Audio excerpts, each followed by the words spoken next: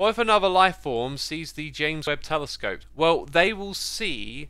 In fact, I think you could almost say that they won't see it right now because the light has to travel across the distance to get to them. So like what are they seeing? Because if we put up the James Webb telescope, you know, this year, how far does the light have to travel? So when we look at stars, we're talking sometimes like billions of light years away for that light to have traveled to us.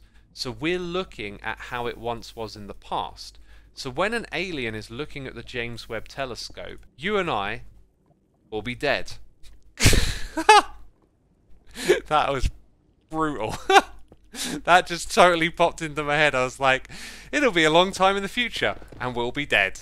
Think about that, my friends. When aliens see the James Webb telescope, you and I will be dead. Sorry if that was a bit of a bummer, you know. Isn't isn't space amazing? You'll be dead.